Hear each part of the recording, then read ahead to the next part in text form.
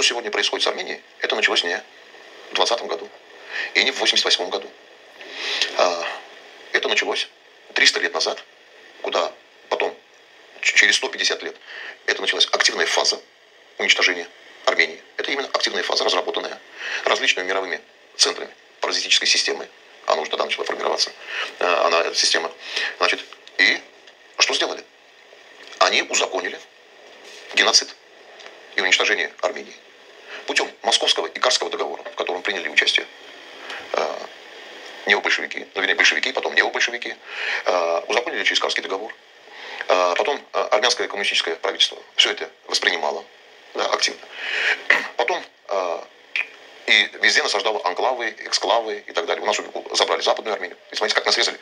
Мы из всей территории постсоветского пространства самое пострадавшее государство геноцидально, включая того, что мы должны обвинить, включая Коммунистическую партию Советского Союза и дальше руководство Российской Федерации в геноцидальной политике в отношении Армении, которая фактически э, узаконила убийство армян в Нагорном Карабахе, э, требует открытия Сюникского коридора, передача территорий. Мы с вами показывали карты, да, которые мы получили от российских дипломатов. Их руками кружочки нарисованы в Таушском районе, что должно уйти Азербайджан. Это именно русское требование. Ну не русское, российское требование. Русский человек сегодня оккупированный человек. Тоже оккупированный. Тоже, как и мы, как и Азербайджан, как азербайджанский народ, как грузинский народ, как весь мир, оккупированы паразитической системой, созданной различными центрами мира, которые управляют этими процессами. И что в результате добиваются сегодня? Раньше мы кричали и обвиняли многих, ну, например, генеральный штаб Германии, который Германия тоже признала, что были, было их некое участие в геноциде. И вы помните, их президент, стоя на коленях, просил прощения. А, британский парламент да, начал активизироваться, другие страны мира. А, когда Россия нам говорит, что в 2015 году мы вас спасли, в 2015 году вы сначала допустили геноцид, оставив про армянскую часть населения в Западной Армении, отвели войска полностью, бросив один на один против Османской империи, те обвинили армян в прорусскости, решили заняться своими внутренними домашними делами, оставили армянскую часть населения один на один с врагом, а, уничтожили ее, а потом пришли и типа спасли. В Карабахе тоже пришли спасать. В результате этого спасения Карабаха нет. А, но поговорим. А, тут, понимаете, когда мы говорим Алиф, Алиф это инструмент. А сегодня что делают? Э, как узаконивают этот геноцид, уничтожение армянского государства и армянской территории? Раньше, когда мы кричали и обвиняли всех, да, что вы, вы, вы, вы виноваты. Теперь они подумали и решили так. А что постоянно нас армяне обвиняют? Давайте сделаем так, чтобы в будущем нас не обвиняли, а вот сама эта армянская власть пусть просит. Ну, типа, Алматинская декларация готовы. Территории готовы. Сами своей рукой пускай все подписывают, чтобы завтра не сказали, что это мы. Пускай своей рукой отдают. Да, подписывают, отдают, да еще и просят чтобы забрали. Как э, Пашинян сказал, скажите, что надо, мы, скажите, что еще вам надо. Также был разговор, да, у него был как-то вопрос риторический. Мы говорим, что скажите, что еще надо. Ну вот они говорят. Этот процесс... Э, Или скажите, где кончаются ваши э, запросы да, запросы, да, да. Все, что могу, все, что могу, как фильм. Значит, это вопрос, мы когда говорим Тауш, мы говорим села, надо понимать, да, села, конечно, это были, но армяне должны понять, тут вопрос не в селах, вопрос политики по отношению к Армении. Например, мы говорим о системе, да, вот мы говорим Европа, Запад, Россия, да. Мы сегодня обращаемся к Соединенным Штатам, Обращаемся к Франции, к России. Вопрос. Все три страны были гарантами и сдерживали эту войну. Типа Минская группа ОБСЕ. Да, Минская группа ОБСЕ, совершенно верно. К ней шел. Вот. Они все троем были гарантами. И что произошло? Где эти гарантии, э, гарантии России? Ну, Россия мало того, что она еще была гарантом по Минской группе ОБСЕ, она еще с нами по двустороннему договору 97 года, всеобъемлющему договору, плюс еще и член ОДКБ, союзник по ОДКБ, да еще и э, экономический союзник по ЕАЭСу. Да? Ни в одном этом пункте не исполнила. Соединенные Штаты ни в одном этом пункте не исполнили своих обязательств. Франция ни в одном этом пункте не исполнили своих обязательств во время войны. Никто. Теперь Соединенные Штаты приветствуют э, демаркацию, демилитацию. Вот у меня вопрос к прозападным нашим политическим силам. Э, в первую очередь к ним. Потом придем к этим э, валяющихся в парламенте оппозиционеров. Вопрос. Вот вы сюда давеча кричите Соединенные Штаты. Мир создан сегодня с паразитической системой. Сволочной.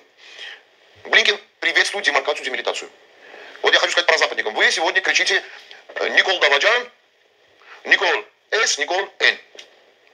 Говорязнума. Ну, землю отдает. Никол предатель так, Никол землю отдает. Подождите. Всех сегодня на кого вы молитесь в Соединенных Штатах и в Европе? Германия, там Совет Европы, Блинкин, госсекретарь Соединенных Штатов. Они все приветствуют. Вы говорите США, Европа, США, Европа приветствуют то, против чего вы на площади боретесь. Теперь давайте определимся, господа западники. Что это означает? Если вы говорите Америка, Америка, Европа, Европа, и в то же время выступаете против, тогда вы должны выступить сегодня против Блинкина и на своих митингах и выступлениях сказать, послушай, ты что на нашу голову тут Владимир, ну помните, в самом начале вы сказали, напомнили вот эти карты с этими обозначениями э, российского, от, от России да. они были. Я сейчас веду к России.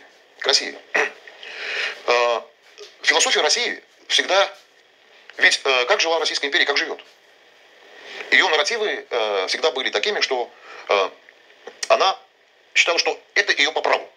Это сила, а если ты не с нами, то ты враг, то ты предаешь самое святое, что ты можешь предать, но мы должны тебя научить. А научить это означает отнять, убить, захватить. Ну, как Украина. А, когда говорят, нету причин воевать с Украиной, по большому счету причины воевать нету. Но, как у Крылова, ты виноват лишь в том, что хочется мне кушать. Сказал и влез ягненка отволок. Да?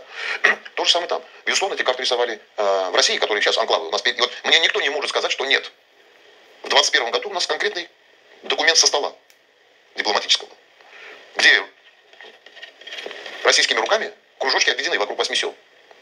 Теперь про российские э, выкормыши, которые в Армении, как и про западные, эти боятся сказать что-то против России, эти боятся сказать что-то против Блинкина. Я вам всем говорю, у нас существует только один флаг, он армянский. Когда мы будем строить свою национальную политику, к нам придут.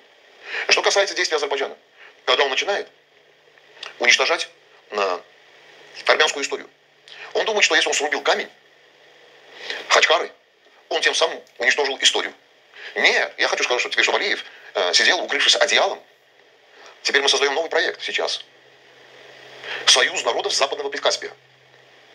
В Западном Прикаспии мы сформируем национально-освободительное движение для лезгин, талышей, у, э, удинов, ассирийцев, аварцев. Мы, армян. Западный Прикаспий это не Азербайджан. Почему они сейчас уничтожают нашу историю? Создали два искусственных паразитических государства. Первое государство – это Турция. Второе паразитическое государство – это Азербайджан. Не имеющих. Турция не имеет никакой своей культуры. Турция по сегодняшний день не имеет своей письменности. Турции нету письменности, она пишет латиницей. Но мы с вами, как люди образованные, мы знаем одну простую истину. У тех народов, у которых нет своей письменности, нету своей культуры. Вот этим народам, паразитическим образом созданные сейчас на этой географии, сказали, переписывайте историю. Они ее могут писать с утра до вечера 16 томов в час. Это ничего не изменит. У вас нету своей письменности, у вас все заимствовано. В турецкий гид в Турции вам всегда расскажут, это отжали у, у киприотов, это отжали у греков, а это раньше было армянское, это раньше было римское. У них своей культуры нету, своей письменности нету. Турция это паразитическое государство. Тюрков там нету. Что, тюрки, знаете, кто это? Тюрки это казахи. Настоящие тюрки живут в Казахстан, Туркмения. Туркмен. Ту, э, и турк? кир, киргизы. Это тюрки. Когда сейчас Средняя и Центральная Азия, как сумасшедшие, бегут в этот проект Туран, ребята, казахи, дорогие мои, вы куда бежите? Тюрки это вы, а не Турция. Турция просто большая, пока временно большое государство, которые будут скоро сжирать, и Турцию скоро втянут в очень серьезную войну. Потому что мир не воспринимает Турцию как исламское государство. Но э, этому очень хочется сильно стать э, исламским шейхом глобальным, Эрдоганом. И когда сейчас Израиль конкретно начнет мочить, вот этим словом скажу, сектор газа, Эрдогана не останется другого пути, как зайти в газу. И если Турция в газу не входит, Турция больше для исламского мира не существует. Но в то же время мы должны понять одну вещь. Что изначально, как я вот говорил на прошлой передаче, руками Ирана хотели ослабить э, по Израилю. Смотрите, сегодня Израиль превратился как Советский Союз при вводе в Афганистан. Уже Колумбия расторгает договор. Южноафриканская республика подала в суд.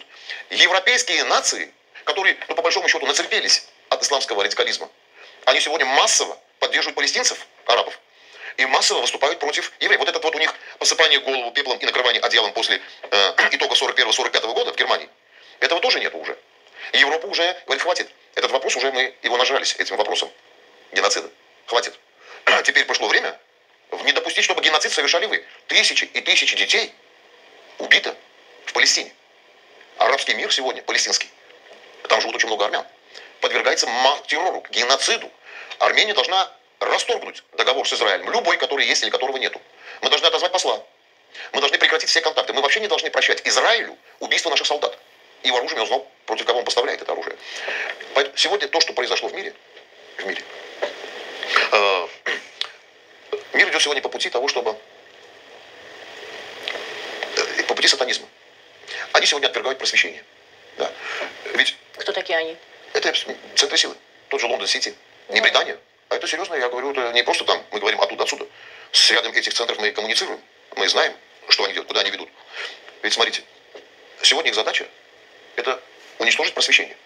Когда человек просто становится, а, обыватель, становится просто смотрящим телевидение и становится потребителем массовой культуры.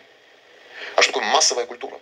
Это означает, когда у вас есть большой дифференс в сторону отсутствия интеллектуальной массы населения, то незначительный маленький интеллектуальный вброс, продуманный, это общество потребителя начинает пожирать, схватывать его. И это становится нарративом, который воспринимает общество. Потому что когда у вас нет просвещения, когда убивается культура. Смотрите, в Армении ведь та же самая система. Из армян сделали массовых смотрителей телевизоров, тупых сериалов. Убили просвещение. Вы думаете, просто так хотят перенести консерваторию? Вы думаете, просто так ослабляет Никол Пашинян культуру? Они все люди одной системы мировой. Они уничтожают культуру, наследие. И это происходит процессы во всем мире. Сегодня люди смотрят тупые, никчемные сериалы, слушают тупую, бездарную музыку. Вот давайте скажем так. Вы помните, в Советском Союзе каждый день в определенных 6 часов вечера Хочешь ты, не хочешь, ты, у тебя выбора нет. Ты в 6 часов включаешь телевизор, у тебя там классическая музыка. Классика, балет, опера, джазовый фестиваль. Разве вы слышали эту тупую музыку, там, которую сегодня поют наши армянские певцы, э, российские, американские, ну, Америка еще более-менее там на этом уровне высок. Мы же сегодня стали кем? Никем. Сегодня нас просто да, уничтожают. Если можно, вернемся к событиям недели с этим западным азербайджанским телеканалом. Что? Это продолжение той политики притязания на территорию Армении. Я же вам говорю, что это же не Алиф, не идиот, просто так дорогу строит э, Сюник. Вы думаете, что он просто так миллиарды вкладывает? Нет, это их программа. Они будут это делать. И я уверен, что такие договоренности есть. С кем? С Арменией. Я, это мое личное мнение и мое личное убеждение. Я скобки открывать не буду. Но я хочу сказать, идиотов, ну, Алиева точно идиотом назвать нельзя, да, в плане интеллекта. Вы думаете, что он просто так будет вкладывать миллиарды в дороги, чтобы Никол Пашинян сказал, вот тебе столб, шлагбаум, и дальше ты не идешь, а что, миллиарды потратил просто так?